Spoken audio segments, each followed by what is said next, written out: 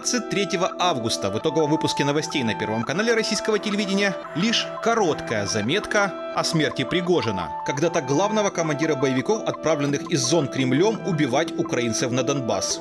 Его имя, которое еще в прошлом году восхваляли чуть ли не в каждой программе новостей и гордились подвигами его штурмовых отрядов, сухо в полуминутном тексте диктор называя среди тех, кто мог быть на борту разбившегося бизнес-джета. И все, как будто и не было в новейшей истории России главаря ЧВК «Вагнер», трижды Героя России и ЛДНР, и одного из самых результативных командиров преступной войны Путина в Украине. Самолет марки Embraer принадлежал компании, специализирующейся на бизнес-перевозках. Он направлялся из Москвы в Петербург.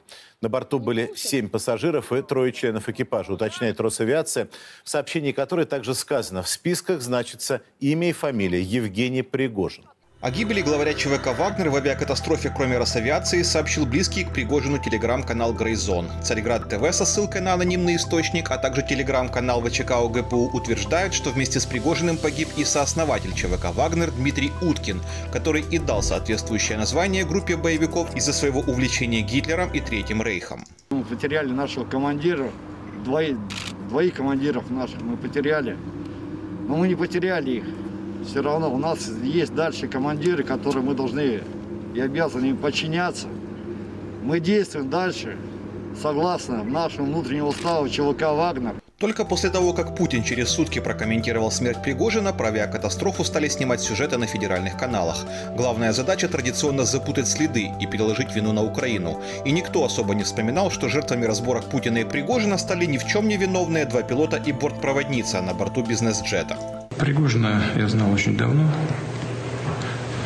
С начала 90-х годов работал не только у нас в стране и с результатом работал, но и за границей, в Африке в частности. Занимался там нефтью, газом, драгоценными металлами и камнями. Вот он а вчера только, насколько мне стало известно, вернулся из Африки – встречался здесь с некоторыми официальными лицами. Западная пресса не сомневается, что смерть Пригожина – это месть Путина за так называемый марш справедливости на Москву, главаря ЧВК «Вагнер» в конце июня.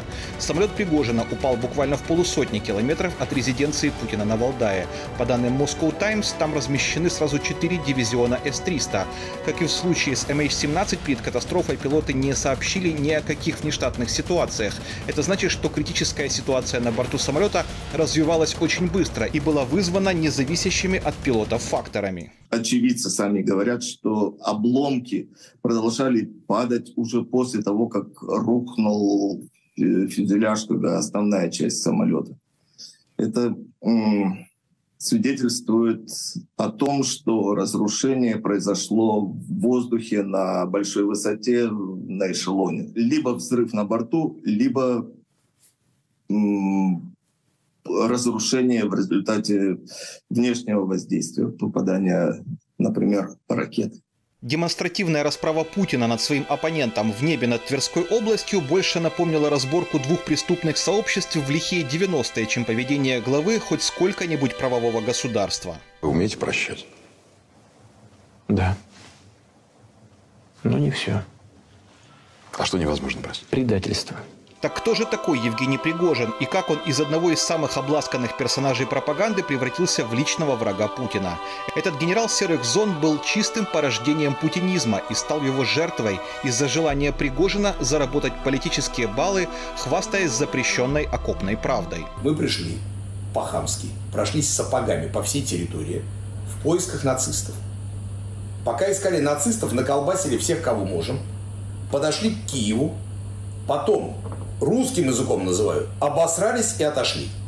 Дальше к Херсону обосрались, отошли. После этого, или там до этого уже, времена путаются. Э, изюм, красный лиман.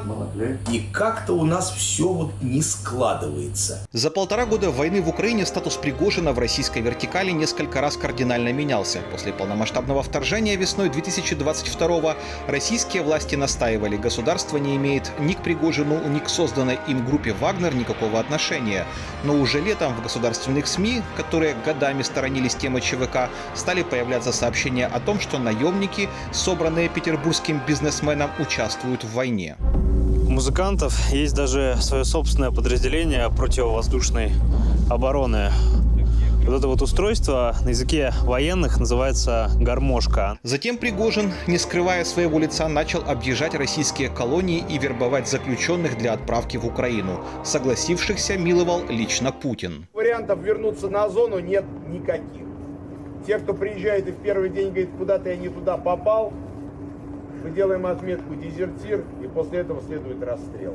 Пригожин, дважды судимый уголовник с состоянием по оценкам СМИ приблизительно в четверть миллиарда долларов, а также непонятно за какие заслуги Герой России, показывал, что он вне закона настолько, что может вербовать заключенных прямо в колониях. Что нам нужен? Нам нужны только штурмовики. 60% моих парней штурмовики, и вы будете одними из них. Большими деньгами Пригожин пытался заманить на бойню в Украину новые сотни тысяч людей и соревновался в этом с Минобороны.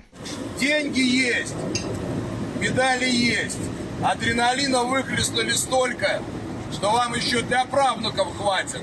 Постарайтесь максимально помнить о том, что не надо в лагерь возвращаться. Чтобы попасть к нам на войну, опять не обязательно садиться. Понятно, что не у всех это получится. Дальше события развивались еще стремительнее. Стала публичная история с демонстративной казнью в России вернувшегося из украинского плена экс-заключенного Евгения Нужина, который до этого вступил в ЧВК «Вагнер». Орудием убийства стала кувалда, которую наемники в итоге сделали своим символом. Я нужен Евгений Анатольевич, 1967 года рождения. Отправился на фронт, чтобы перейти на сторону Украины воевать против русских.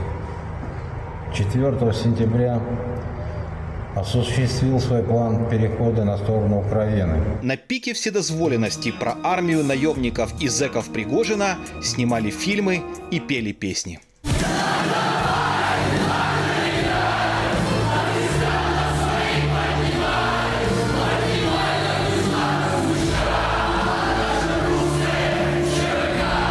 Пригожин активно эксплуатировал образ такого себе супермена с оружием, адресуя из российских телевизоров вопрос всему мужскому населению страны. А ты вообще мужик, если не хочешь воевать?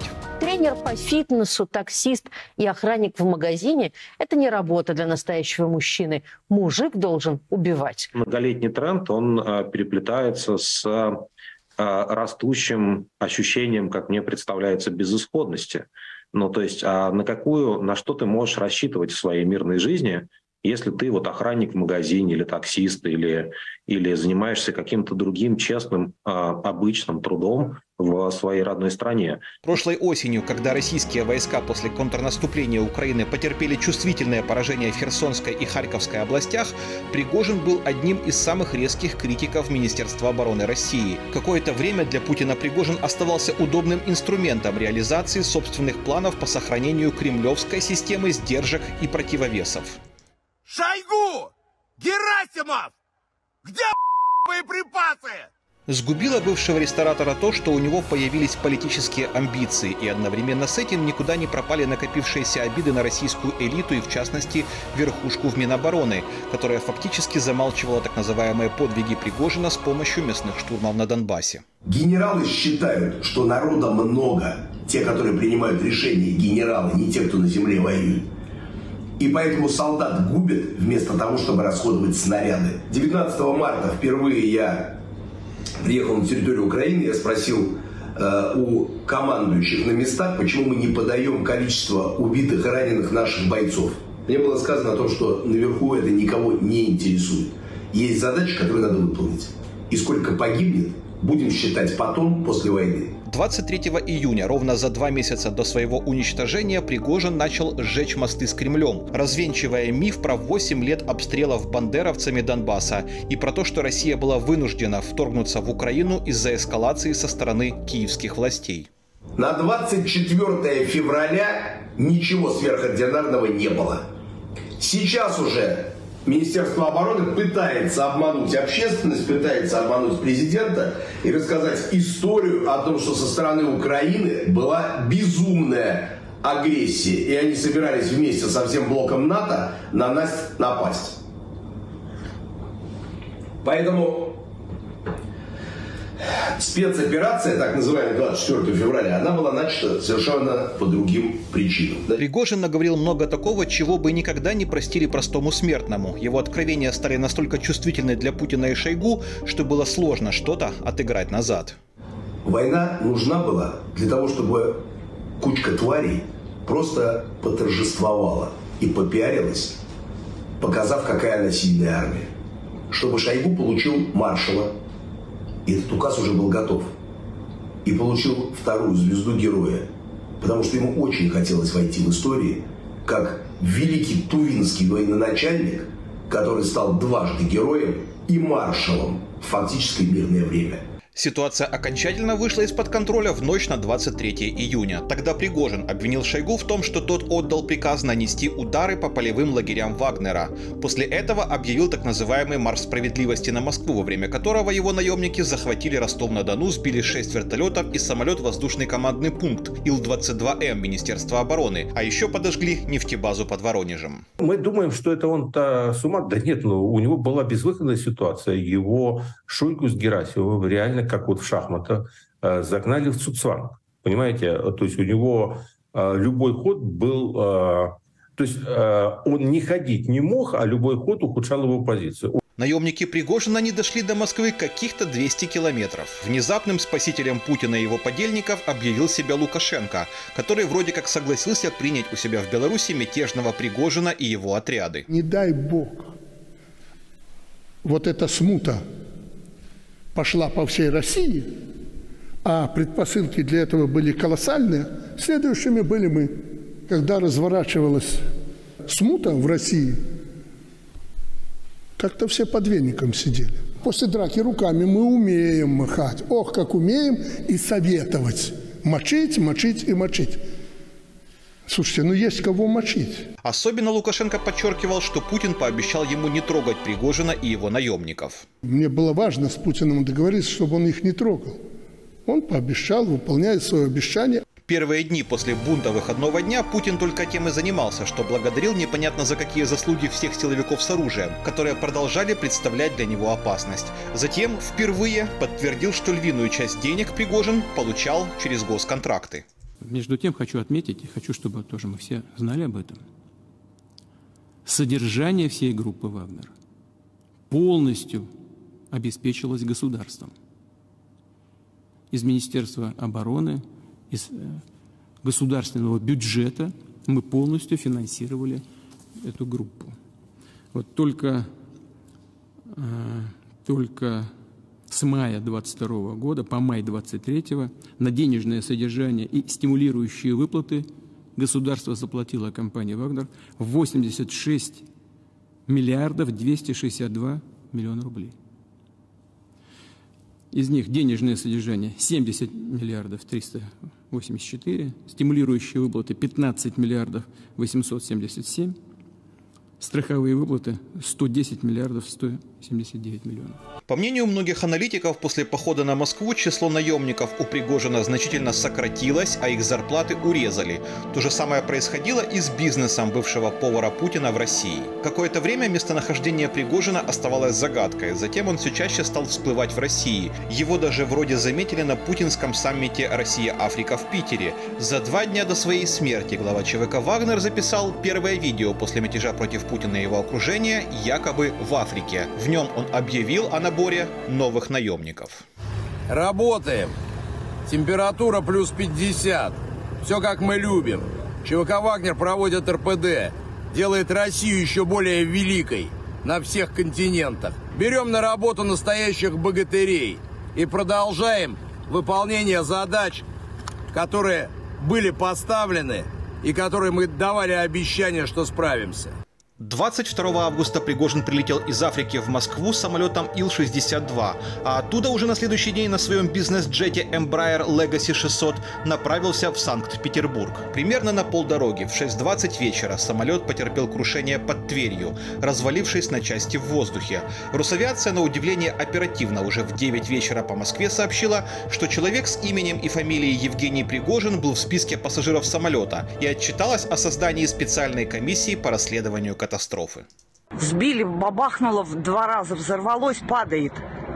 В катастрофе никто не выжил. Отдаленно похожими методами действовал покойный друг Путина Муаммар Каддафи, когда в 1988 году отдал приказ взорвать самолет над британским Локерби. Но ливийский диктатор не уничтожал самолеты над Ливией. Очевидно, что решение Путина взорвать самолет над своей территорией, обломки которого легко могли упасть на поселки с мирными людьми, говорит об террористическом характере российского государства, которому наплевать на жизни собственных людей. Я слышу э, взрыв или хлопок, как сказать. Ну, обычно, если взрыв на земле, то он с цехом, да, а то просто вот пух. Я поднял голову и вижу белый дым, крыло отлетает в одну сторону, а фюзеляж вот как-то вот так, вот так, вот так, вот так, вот так, и на одном крыле потихонечку так начал планировать, не, не пикировал, а планировал. Я боялся, что на деревню упадет, я вот там был. Остановить покушение на собственный трон и власть верноподданных коррумпированных Кремлю чиновников без последствий Путин и его окружение не могло. Иначе это было бы приглашением для других желающих попробовать свои силы. И ровно через два месяца после так называемого «марша справедливости Пригожина» не стало и самого Пригожина. Странно было бы, если бы он прожил долго, счастливо и умер в своей постели спустя десятилетия. Таким образом, Пригожин повторил судьбу многих главарей ЛДНР, которые, выйдя из тюрем и автомоек, сначала превратились в так называемых героев Донбасса, а затем были уничтожены Кремлем. Ну, Донбасс разворовывали. Простые работяги были в заднице. Наверное, один из немногих, кто впрягался за людей, это был Захарченко. Куда делся Захарченко? Его просто взяли и ликвидировали. Кто? Украинская ДРГ или кто-то из своих? Большие вопросы – После авиакатастрофы самолета с Пригожиным, как бы ни в чем не бывало, на голубом глазу бросился отбелять мафиозную репутацию кремлевского диктатора его подельник Лукашенко. Мол, Путин не может стоять за покушением на главаря ЧВК «Вагнер», так как для него это очень грубая работа. Обеспечил безопасность Пригожин. Ну, знаете, э, если уж прямо отвечать на этот вопрос, я и не должен обеспечивать безопасность Пригожина. Это во-первых. Во-вторых, э, никогда об этом в таком ключе разговор не шел. Я далек от того, чтобы думать, что э, это сделал Путин, там кому-то он поручил, э, власть это сделала. Ну, как он говорит, давайте дождемся окончательных результатов, хотя для меня это абсолютно понятно. Мы поддерживаем контакт с семьей Жени Пригожина. Они убеждены, и вчера нам сказали, что тут сомнений никаких нет, что Женя погиб. До похода ЧВК «Вагнер» на Москву Путин не решался репрессировать представителей партии войны, которые, как российский диктатор, использовали так называемую патриотическую риторику. С уничтожением самолета Пригожина, арестом Стрелкова-Гиркина и отставкой Суровикина это табу, вероятно, снято для устрашения всех перед одними из самых тяжелых президентских выборов для Путина. Вы верите, что за этим стоит Путин? В России мало что происходит. Зачем бы ни стоял Путин? Месть – это ведь блюдо, которое Путин любит подавать холодным. Вот два, два месяца назад э, все плясали и, так сказать, рассказывали, что Путин ослаб, что ему конец, что вот Пригожин поставил под вопрос, нанес удар и так далее. Прошло два месяца, Путин вручает э, награды каким-то там очередным героям, а в это время э, Пригожин, на которого было возложено столько надежд, э, его самолет, судя по всему, э, уничтожен. Но официальных подтверждений гибели основателя ЧВК Вагнера пока так и не появилось. Ведь сам Пригожин, путешествуя, нередко использовал двойников и летал пассажиром с паспортами на другие имена. Так что, возможно, в этой истории еще не окончательно поставлена точка.